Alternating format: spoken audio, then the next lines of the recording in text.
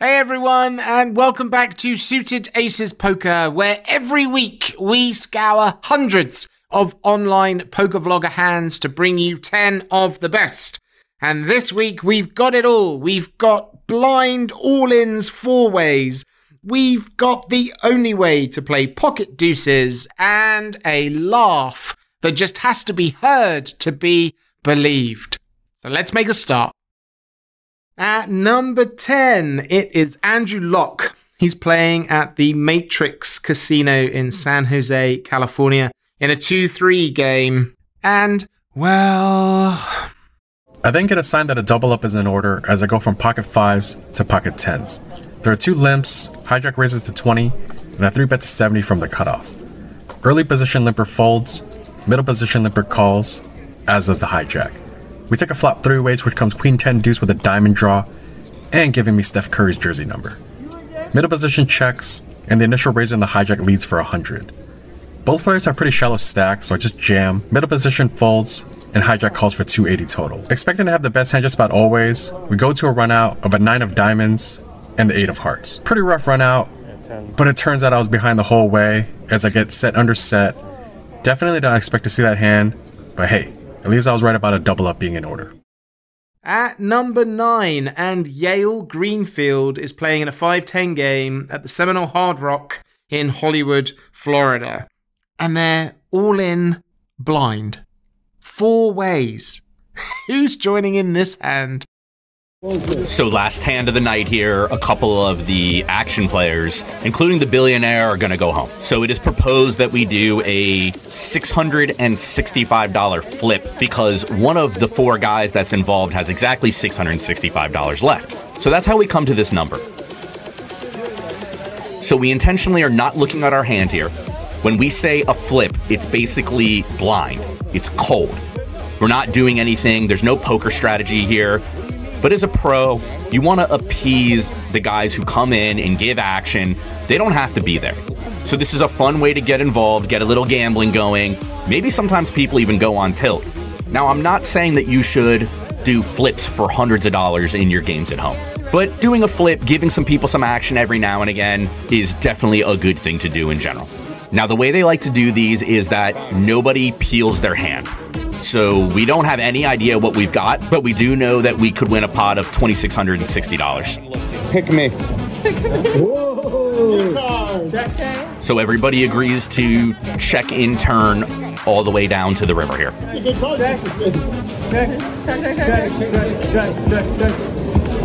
And now it's time for the big reveal. Give me an ace or a queen. That is not. And when we turn over a five of clubs as our first card, we seem to be in quite a bit of trouble. I feel like an ace is our only shot at, at maybe winning this pot. Probably a king sometimes too. I mean, there are only three other opponents here. Ace. Ace. And when we turn over an eight, it's not meant to be. Middle position, the guy who only had $665, which is how we picked the size, turns over the winner with ace three offsuit. And this is how our session's gonna end today.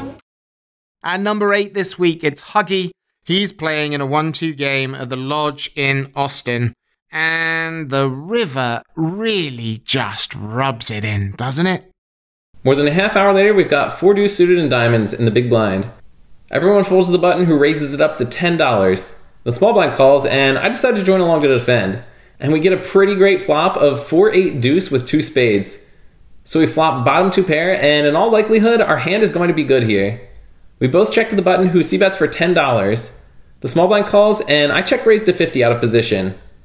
Both players end up making the call, so I'm hoping for a clean turn, which we get in the form of the Queen of Hearts. The small blind checks, and both players have only a little left behind, so I push all in, having them both covered. Just the button calls for his last 143. We show our hands, and our opponent's got pocket aces. Queen. You can still hit it. Oh. Sorry, man. Wow, you were running like fire. that was a lucky flop for sure. nah, but you're crazy showing them. At number seven, Pokerface Ash back at her home casino, Lone Butte in Chandler, Arizona. She's playing in the 2 3 game there. And uh, I don't know, is there a difference between trips and a set? Let me know in the comments. In this hand, the cutoff raises to 15. I look down at pocket jacks on the button and I'm happy to put in a 3 bet with this hand and I make it $45. My buddy Andrew cold calls from the big blind and the original raiser calls, so we're going three ways to a flop. The flop is King, Queen, 10 with two diamonds. We flop an open ender, but of course we've got the two over cards up there. Kinda sucks. The big blind checks, the original raiser checks, and I decide to check back with my pair of jacks and my open ender. The turn is a very interesting card. It is an offsuit jack, so we make trips on this four card straight board. And the big blind checks, the original raiser checks, and I decide to check back. I can only beat bluffs at this point, and there's no reason to put money in the pot. We can just hope that the board will pair and we can possibly bluff catch on a river, but the river is a terrible, terrible card. It is an offsuit 9. The big blind puts out a bet of about $200. The original raiser folds, and now it's on me. This is a very polarizing bet. He's saying he either has an ace or absolutely nothing. Best case scenario, we chop. Even though I had a set, it's now downgraded to absolutely nothing. I gotta put in the fold, so he takes down the pot and he said that he had ace jack suited. And number six, and Brad Owen is in the 5 10 game at the Bellagio in Vegas. Another well played hand from Brad, of course. But what I want to know is what happened in the previous hand. The link to the full video, as with all the videos we feature, is in the description down below. Go check it out. She's probably also a cat thief. We're dealt 10-9 suited on the button, a player in middle position raises to 30. The hijack calls, there's a good squeeze opportunity. We're gonna be 3-betting this hand in this situation about half the time. I make it 130. I can potentially win $75 without seeing a flop. If I don't take it down immediately, my hand plays well in position. The initial pre-flop raiser folds, he's who I was most concerned about. The hijack calls for 100 more. We're heads up in position, the flop comes King 10-6 rainbow, we've got middle pair and some backdoor draws. The opponent checks, I'm in kind of a strange situation, my hand isn't super strong, but it could definitely be best. I bet 100 to keep control of the pot and deny some equity. This will probably get folds out of some hands like small to medium pocket pairs that didn't improve. Some hands that are beating me might call like king queen suited, and then some hands that I'm ahead of might call like ace queen, ace jack, and queen jack. The hijack matches my bet. I'm still not quite sure exactly where I'm at. The turn is the four of hearts. The opponent checks. I don't want this pot to get too large when I have showdown value. I check back for pot control. The river is the eight of spades. I'm glad that it wasn't an ace, queen, or jack. If I was ahead on the flop and turn, I'm probably still ahead, unless I happen to have run into pocket eights. The hijack is assembling chips. My read is that he's contemplating whether or not to bet as a bluff with a missed straight draw. I checked back turn for pot control. I don't like folding to bets after doing that on previous streets the hijack actually fires a 270 that it appears he's considering betting, I'm going to call because I don't 100% believe that he has me beat. Having a 10 is a key card, making it less likely that he'd have a set or two pair.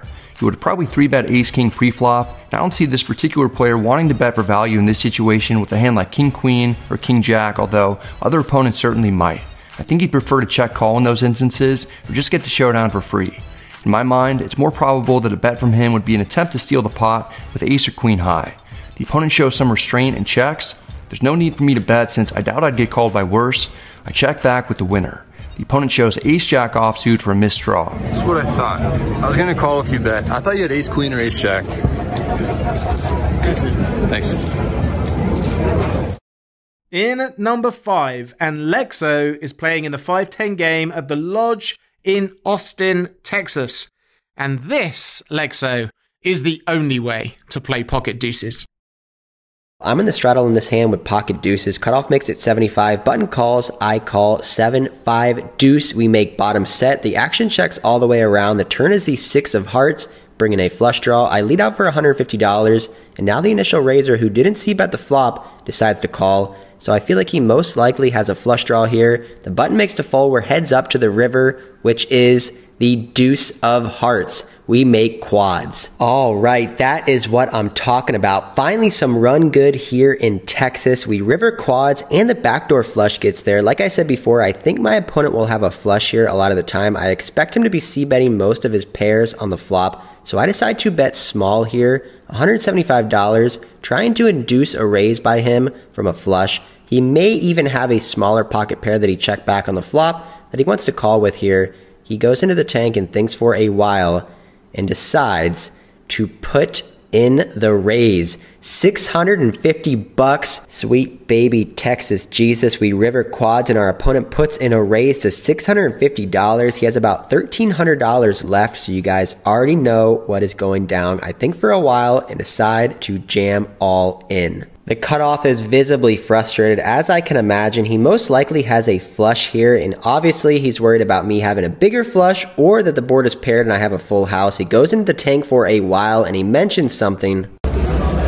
Never a bluff. He says, This is never a bluff, and to be honest, he's basically spot on. I mean, there's not many hands that I would be doing this with. Three bet jamming all in on the river when he only has $1,300 left. I would most likely do this with a nut flush. I would do this with all my full houses and quads, obviously. This line I took is super strong. He is right. I'm going to have it here probably 100% of the time. Some hands I could bluff with would be like ace 7 or ace 5 with the ace of hearts, blocking the nut flush and blocking some of his full house combinations. He thinks for a while, exposes king 10 of hearts for the king high flush, and folds. I got to show for the camera. I finally got a bluff through, baby. Let's go. At number four, and this week, Jack, one of the three lads from Next Gen Poker, is playing in the Rockford Charitable Games in Chicago, Illinois. It's a 1 2 cash game, and Jack, you could have run it twice. Final hand a note from me, and this one is a fun one. We've got ace 8 of spades in the small blind, $500 in our stack. Under the gun opens a 10, and he gets a call from under the gun 2, cutoff. I call in the small blind for nine more dollars, and we're off to a flop four ways, and it's seven four deuce with two spades. We've got the nut flush draw and some backdoor straight draws. Under the gun continues the story for $25 when check two. Under the gun plus two calls, and it folds around to me. Here, I'm faced with a decision again. I can play this passively. This board is dry enough that I think Under the Gun can continue on this board with a lot of overcards. In that case, I'm going to put him to the test here with my strong draw. I check raised $110. As expected, Under the Gun quickly folds, and Under the Gun 2 goes into the tank. Listen in to what he says. I really don't think you flopped the set on me, man. I don't believe it. I got the blockers. I want to I want to play all night. I don't want to just go down in flames here. He literally tells me he doesn't want to go home. He thinks that I have a set and that I want him to call. And eventually he does decide on a call. And when the turn is the 5 of diamonds, one of the best cards in the deck to make my draw even stronger, we pick up a double gut shot to go along with our nut flush draw. I'm not going to hesitate to put him to the ultimate test here. I ship it all in and he's got 250 behind. He goes into the tank. And eventually he decides to make the call. Oh boy, we're gonna need to bink a river. I ask him to run it twice. He says no. All right, let's see what happens and the river comes the five of spades. We drill the nut flush, the board paired, but I'm not too scared of it. I show him, and he tells me I rivered him. We got him good this time, and we scooping in a pot our way. At number three, and Harry B is at the Seminole Casino in Coconut Creek, Florida, playing the 510 game. And these are the hands you wait for all night, sometimes all week. In my case, all year. Within the first orbit, we already have a premium. Pocket Kings, and there's action beforehand. We're in the hijack, and there's a low jack raise to $40. 40 is not enough with Pocket Kings. We're definitely going to be putting in another raise. We decide on a sizing of $150. Action folds back around to the low jack player, and he is the only customer. So we're going heads up to a flop in position, which comes down queen, queen, three, so relatively safe. Once again, not worried about too much on this board. We double block king queen, so the only hand that I'm truthfully that worried about is ace queen. We also have the king of clubs on our hand, so I'm not too worried about the front door flush. When he checks over to me, definitely want to put in a bet. I throw out $110 and he decides to make the call. We're off to see a turn which is a absolute brick. It's a four of spades. He checks over me once again, and I'm still pretty confident in my hand. We can still target hands such as like eights through jacks that I think would definitely be calling another bet. And also, if I had any bluffs in the spot, such as like ace king of clubs, I'll be betting on this card regardless. So definitely want to be doing it with my strong hands as well. I decide to throw out a bet of $300, and once again, he's not deterred. He decides to make the call. To be completely honest with you, when he just calls on this card, I actually feel better about my hand.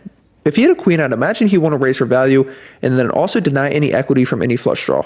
The river is a 8 of diamonds, which now a hand that we lose to is pocket 8s, but I'm not too worried about that. If he has 8s, you know, so be it. He checks it over me once again, and now it's a question of what I want to be doing. He started the hand with around $1,500, so he is around 900 to $800 left in his stack. With less than a pot size bet, if I had any busted club draws here, I definitely would be putting him to the test, so I see no reason why I shouldn't be doing that when I have a strong hand such as the one I have now. A hand such as nines through jacks should still feel good about their hand on the river, considering that this card doesn't really change too much. With that being said, I throw out a bet of $750, basically almost putting him all in, and obviously kind of hoping for a call, targeting the hands mentioned, but unfortunately for us, he says two words that make us throw up in our mouth. He says all in, meaning that he's playing for all of his $900.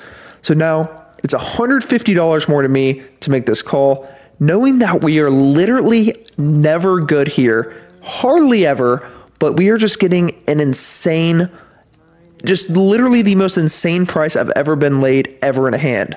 So, disgustingly, I make the call and he shows us flopped quads. So it's very rare to flop quads, and it is especially rare to get absolutely max value like he did. Maybe I'm being results oriented, but I think betting a third on the river and folding to a raise might be a better line. But luckily for him, I bet larger and had a call off of jam. But uh, yeah. And a number two, Ashley Sleeth is playing in the 2 5 game at the Aria in Vegas. And what do we think? Does her opponent have an ace? So as I'm getting ready to leave, Hijack limps in for five bucks. I make it 25 on the button with pocket queens. Get a nice premium to end the night. Big blind three bets though. He's been playing very snug for the past four hours. He three bets to 100 from the big blind. So a little bit scary, but I have queens. I'm not going anywhere. The limper folds. I make the call. The flop comes down 5-4 deuce with two hearts. He continues for 115 and I have a pretty easy call. The turn is an offsuit 7. Again, he bets $210, so now his range is really narrowed to like overpairs, ace X of hearts, maybe, maybe a wheel ace if you three bet that pre. I'm not sure. Obviously, pocket aces, pocket kings. I beat most of that, so I make the call. The river is an offsuit ace. Really interesting card here. I think that a lot of people would be scared of it, but when you really look at it, it's like how many ace X does he have? He does have like the flush draw ace X.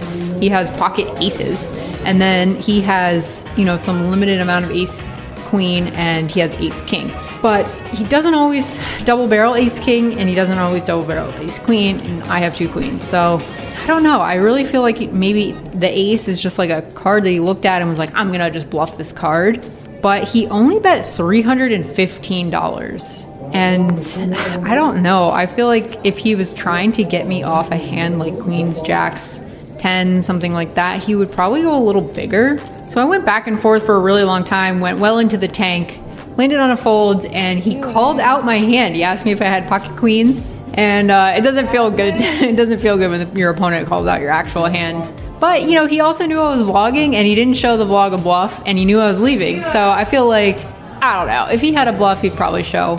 Or at least that's what I'm going to tell myself to sleep better tonight. Always sad to take a hit right before you're about to leave, but that concludes the meetup game. And at number one for week four, January 2022, it's Huggie. He's playing in the 1 2 game at the Lodge in Austin, Texas. And keep an ear out for villain number one.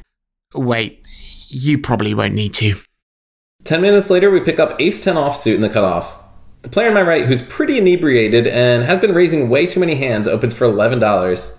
I've been waiting for an opportunity to get it in against this opponent since he's been playing so loose, and I expect him to have a very wide range here. I triple his bet, making it $33.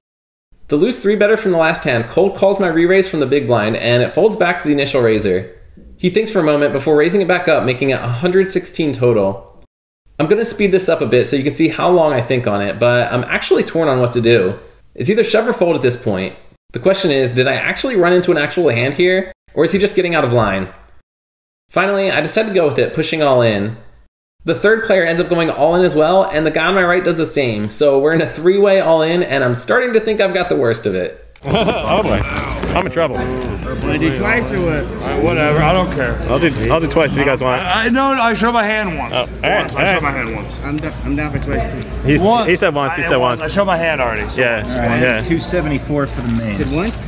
Yeah, I showed my hand already, so we have to do it once. Yeah. In my opinion, Makes sense. that's the way that I do things. Yeah, yeah. that's the way things I do. Yeah, yeah, yeah, yeah, yeah. And I made the decision that way. It's once, one time.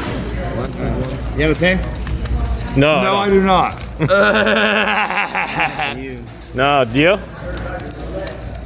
Shit, we have the same I do. hand, huh? Hey, you have an ace too, huh? oh, you got a queen on queen action or what, baby? What? Oh, queen or jack. Nope. yeah. What do you got? He's got the he's got the jack, right? Yeah, No, the I'm queen. You got the queen. You gotta have the queen. Aye, For the aye, overcall, you got the Here you go. Here, so here is what I meant to give you: a teddy ball game tip, free free teddy ball game tip. Oh, love me a free tip. Thank you. Teddy ball game. All right. Teddy ball game. Should I pull out my money to rebuy now or? Oh! oh, Diamond. Oh, oh shit. a jack might be good. Jack. Oh, all right. Oh, Oh, I got super lucky. Nice hand, man. Nice I got super lucky.